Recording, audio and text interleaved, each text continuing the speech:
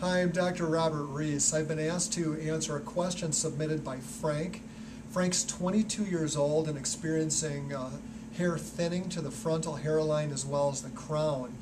Um, he does not have a strong family history for hair loss.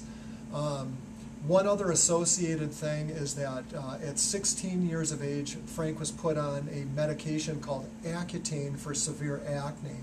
He noticed hair thinning uh, with the use of the Accutane, so he discontinued it about a month into using it. The questions that Frank submits uh, are, uh, is his hair loss uh, associated with the Accutane use, and would a hair transplant be appropriate for him? Well, Accutane use is associated with hair loss, but it's not uh, felt uh, to be a permanent hair loss. Uh, for a period of months after the Accutane has been discontinued, you may continue to have thinning hair, but we'd expect the hair to improve with time. The Accutane does not kill the follicles that grow the hair. Uh, although Frank says that he does not have uh, a strong family history for hair loss, the pattern of hair loss that he describes being frontal hairline and crown does sound like it's a genetic pattern of hair loss. I would, I would guesstimate, uh, not having met Frank, that he'd be classified as a Norwood 3 vertex to a Norwood 4 pattern of genetic hair loss. So the key points to remember are this. Um, there may be someone in your family history that isn't you know, a first degree relative, but maybe someone further out that does have pattern hair loss.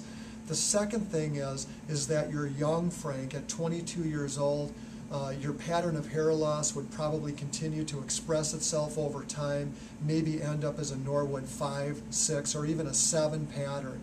So we've got to be conservative with you. In my opinion, surgical hair restoration is not your primary uh, cornerstone of your therapy. In fact, the cornerstone of your therapy at 22 years of age is to stop losing hair. And the way you're going to stop losing hair is to use one of the three FDA approved options, either Propecia, minoxidil, or low-level laser therapy.